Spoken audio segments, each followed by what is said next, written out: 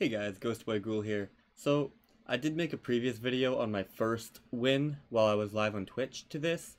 Um, if you haven't seen that, you don't need to, because this is going to be a better run. It's a little more refined. I picked up on some mistakes I was making, I fixed them, and I have a bit slightly better equipment and um, reworked my materials and summons, I guess. But, um, yeah, I'm just going to basically talk over my video because I recorded it and I'm just going to let it play and we'll go from there. So, yeah, I hope you enjoy. So, this is for very hard, obviously. Here I am just going through showing my equipment. As always, I go through it a little bit fast, so if you want to see any and break it down for yourself, you can just pause the video at any point and check out the stats. Um, of course, this dungeon is weak to ice and earth, so uh, the focus should be ice and earth. And you may notice I did not put any ruins on my characters. Now this is a hind, dolphin, low end whale sort of run, so whenever a boss did break out their uh, their phase where you would try to break them with Ruinras or Ruinra blows, instead I wanted all my characters, even the ones I wasn't controlling, to be focusing on the strongest attacks they could have possibly done to finish the boss off before the boss did the moves, and that's why I didn't have any um. I did try a few runs with two uh, Esunas, poison, poisons to cure the poison, because the ads were a huge pain in my rear end for um, more than 10 runs, and these 10 these runs last like minimum 20 minutes before you die or or win. But uh, so it was it was a bit of a pain. But I figured out a way to get past the ads a lot easier. It makes them so much easier. I thought they were harder than any of the boss, but that's just simply not true. I was just not fighting the ads right, uh, correctly in the first place. Um, so you'll see all that in this video. Basically, I packed most of my ice potency on uh, Sephiroth, all my earth potency on, or most of my earth potency on Lucia, and then Aerith had a mixture of both earth and ice potency while mainly being my healer. Um, most of the bosses in this dungeon are are not uh, susceptible to physical defense down um, or attack down. Some of them are, but it doesn't like most of them aren't. However, they're almost all susceptible to magic defense down, and several of them are more weak to magic rather than physical. So I brought three magic DPS um, people in, or two magic and one kind of support that also does DPS. Scorpion goes by fast. I've, of course, beat Scorpion the most because you don't really die to Scorpion. Um, I always start with the Diving Burst to get the ice resistance down, and then hit him with Aerith's ice attack, so she not only does she do more damage, but she also then brings the magic defense down from Snowflake. While that's all happening, Sephiroth is going to Frenzied Stance to bring his magic attack up. In my case, it's by 3 tiers, because AOB is OB6. I set up Blizzara off with Lucia, another uh, Snowflake attack off with um, Aerith, and by that time Sephiroth should already be using his Aerial Frostblade Plus. Um, I did switch over to Lucia near the end of the fight here, just to make sure she doesn't fire off another Blizzara, because she didn't need to, just to save her ATB for the next fight. And here you have one of two ways you can go. Once you go too far in one direction, you can't go back. So you could go this way and fight Wu and Tai first, or Baloir King first. I've tried that a bit. Um, the the Wu and Tai fight first and then going the other way was kind of working out for me. However, I didn't have um, the items from this chest that would have made all the other fights easier. So I just ended up going back to the first route I was doing in the first place, and ultimately that's what worked out best for me. Now, these ads and the other ads were a huge pain in my rear because I was focusing on the one in the middle, whereas you want to take out the ads ads you want to take out these little Wrath Hounds before anything, and the fight gets so much easier, trust me, because Queen Gashtrike does have a little bit more health, or it's a little more beefy to take out, and all three of them cause poison. So, you take out the two little guys because they're easier to kill, and then you have to heal less poison, and I didn't need to bring in two Esunas, so I could put a better stat stick on Lucia, because I had a, I was trying a, um, poison Esuna on her as well as Aerith just to get through them. They were such a pain. And I even tried runs where I was sacrificing a whole uh, Shiva Diamond Dust from Sephiroth on the second wave of ads because it was just it was too much. So I'm hoping this video comes across to some people who might have been struggling the same way I, I did. Take out the side, the Wrath Hounds first before the Gashtrike, and I promise me, it'll make your run so much easier. Now, here, I basically, you basically only want to use Ethers if you feel like you need to, like if you're, if you have less than half the amount of uh, ATB, then maybe put three. If you have two or less, I would use the, um, the better ether that gives 7 ATB. Because uh, you do want to go to these fights pumping out your best moves right away. Like, although Molecrawler isn't weak to ice, he's not resistant to it either, so I always start out with Snowflake's attack, Snow Spell, to bring the magic defense down. Uh, Lucia, you can't use Diving Burst on Molecrawler to bring ice resistance down because Molecrawler is not weak to ice, and uh, that only takes effect on enemies that are weak to ice. Any elemental attack like um, elemental resistance down attack like that. That's how that works. Only works on enemies that are that are actually weak to that element. So Lucia just goes straight in with her Rock Blast from Holiday Revolver. Super powerful. Uh, and uh, Sephiroth, although I didn't even put an Earth weapon on him. I had um, a 5-star uh, Quake Arrow Blow on him a bit ago because it had like 7.9% magic attack potency. It was basically just a stat stick, and I assumed maybe he'll use it because even though his physical attack isn't as high as his magic attack, it's still kind of high. He never ended up using it. In, even by default, he's still going to end up using his Aerial Frostblade. His magic attack is buffed. So even on the enemies that aren't weak to ice and are weak to earth, he's still going to pack a, a big punch just doing ice moves. And then um, Aerith will always use a mix of both just because she brings the magic defense down with her ice move, and then she can switch over to either her multi-hit Quake hits with uh, her Wizer Staff, or just a, a, a Quakera for the magic attack Quake on a single target. Pretty much only use the Wizer Staff on uh, Wu and Tai. You'll see that coming up. Now, I have had runs where I did not have to heal um, I didn't have to use any supplements, no potions, and I've also had runs where I didn't have to use any ATB on either of these first three fights.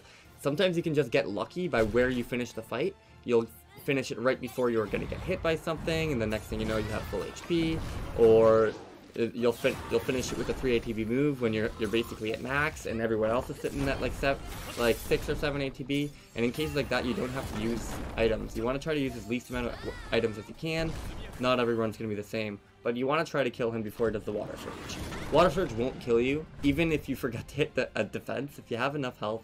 Uh, even if I forget to hit defense in the Baloir King, where he does the Water Surge, I still survive that move, but it's not worth taking the hit. I mean, play the run anyways if that happens to you, but uh, if you can try to kill him before that goes off, that's why I have the um, Quake Cocktails on Aerith and Lucia for that purpose, just to try to take him out before that water surge even hits you. Might not even need to put one on Aerith, but I do anyways. Um, whoever's your main Earth DPS, you might want to do that. Now, here's an interesting thing I was doing. Um, I don't have any physical attack users. However, um, I'll wait until I do it here. Maybe I'm using ATB first. Yeah, I'm using ATB first. Okay. So I double up on Lucia because she's my main Earth DPS, and these guys are weak to Earth. Now these guys are not susceptible to magic defense down, so I don't do not use that again. But okay, the Power Jelly. I did put one on Sephiroth because of Shiva's Diamond Dust. It's it combines both attacks put together for more damage. So the physical attack up potencies are actually going to make your summons or limit breaks hit even harder.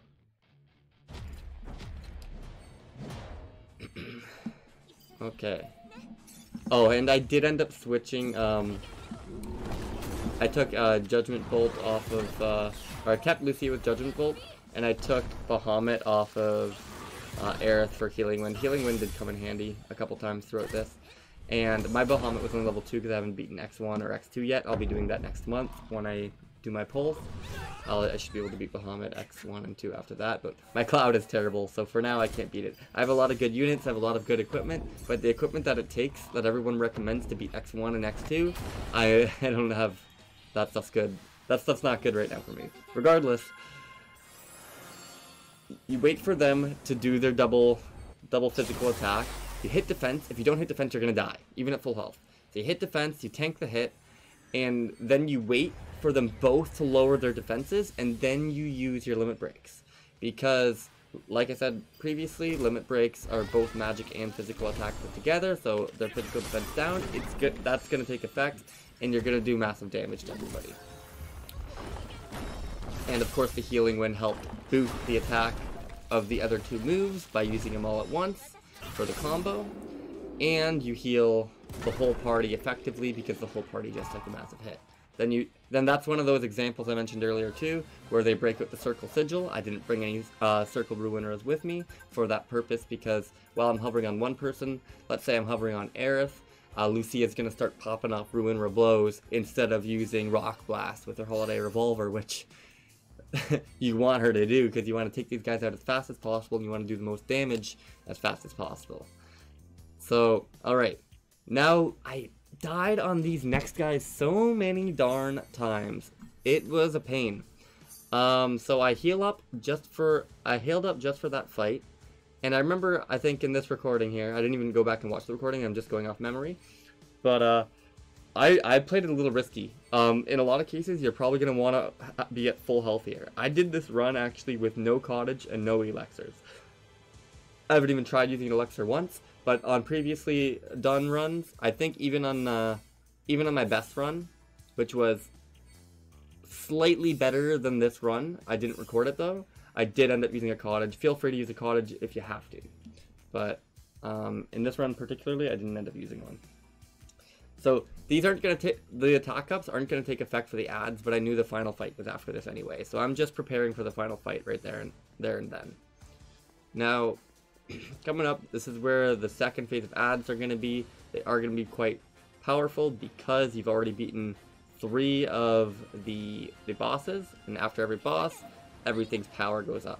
So again, same strategy as before, I went over to Wrathhound, and I knew one of them was going to hit me with a poison, so I prepared in defense mode to heal with a uh, healing poison right away, and then another one right away. If you're in defense mode when you heal, you will heal a little bit more, but you want to get right back in the attack position and let it fill um, as quick as you can. Alright, I think I need the snow spell here. We see a hit with the ice uh, defense down, and aerial frostblade coming in before the Legion Slash comes out. That was risky. Lucia could have died. Anyone could have died. That was a gamble on my part. And, uh, glad I took it.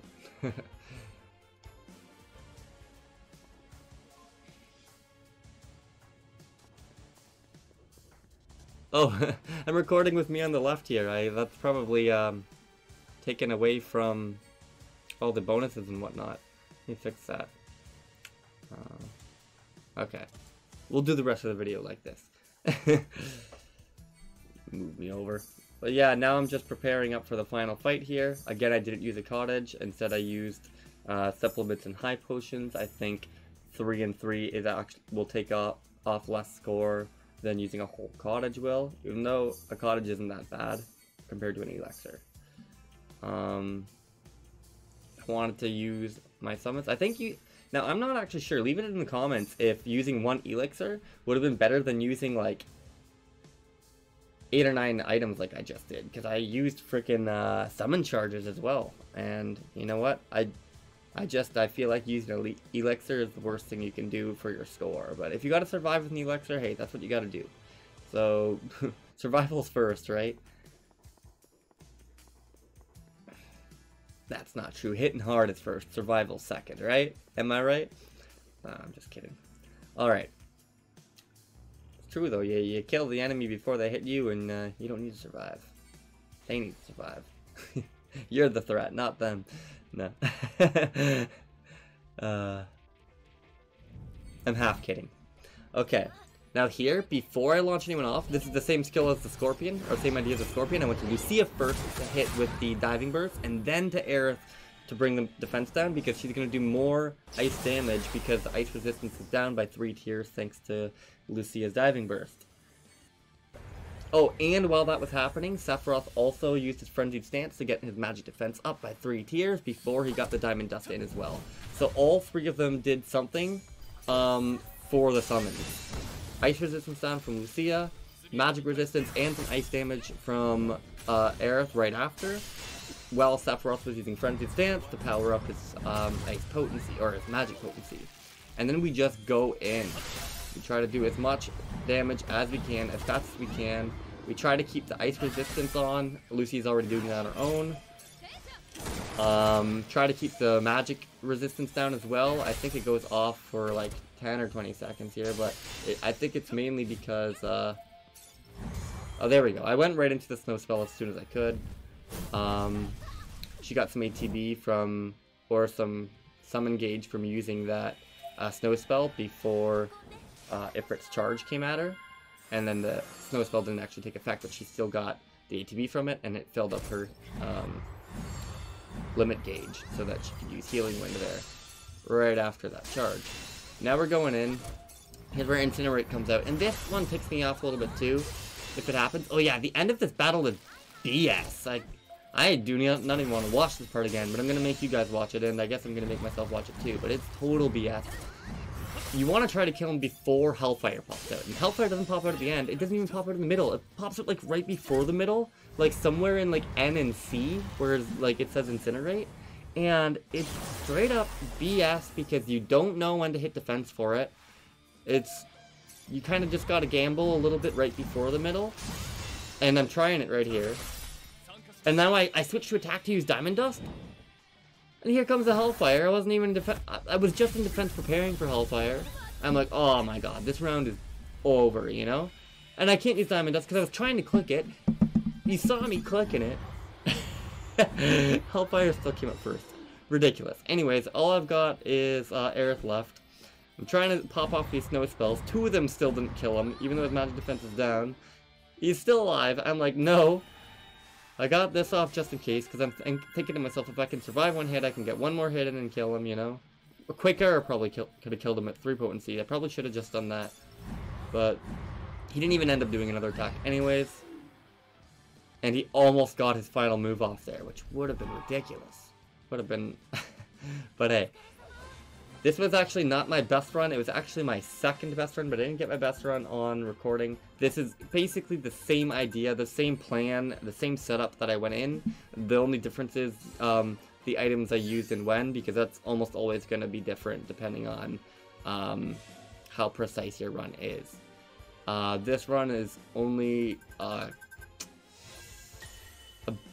about a hundred thousand under my best run. I think we'll see in a moment. That was 160, wait, 1,629,000, and my best run was 1,712,000. Oh, I'm in the way. Uh, let me just move myself. Um, let me see here. I'll just let that play again for a second while I fix my webcam source. Uh, okay, well that didn't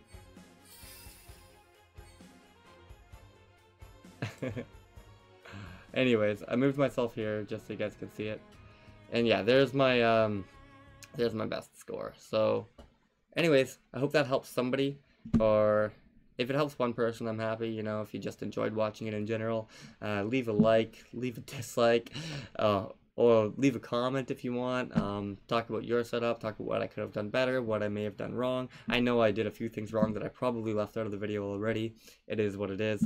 Um, and yeah, I do this on the side. Like YouTube is just fun for me. I, I don't like try to get anything out of it or anything. I just like making this stuff. I like helping people, and it's just fun for me. Especially like being like seven, eight, ten years later, and you look back on all your stuff, and uh, it's it's just fun for me. But um, I do Twitch more than YouTube, so I'd love it if you threw me a follow on Twitch as well. I'm gonna leave the link to that down below in the description of this video. And uh, don't just leave me a follow. Come by and say hi sometimes. I play Ever Crisis on stream too. I try to stream as often as I can. Sometimes it's not too often. It is what it is. Either way, um, hope to see you around. Thanks for stopping by, and I hope you have a great day. Take care.